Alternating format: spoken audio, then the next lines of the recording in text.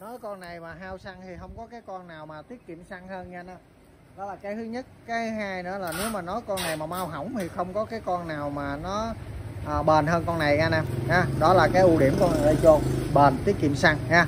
Rồi đặc biệt con này thì có làm ra tinh luôn nha.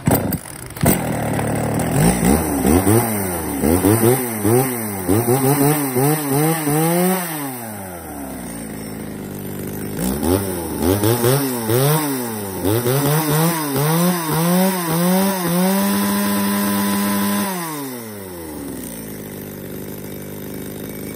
Đấy, nói chung là anh em ở miền Nam thì nên lụm cái con này về xài là ok, lam là lam latin luôn. Còn nếu mà anh em nào ở miền Bắc mà có xài mấy cái dòng Huvana với tin rồi đó, thì trải nghiệm thử cái con Echo này một cái đi.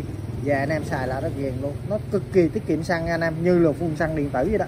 Rồi đây là con BT16 ha, giá là 3 triệu nòng đứng nha.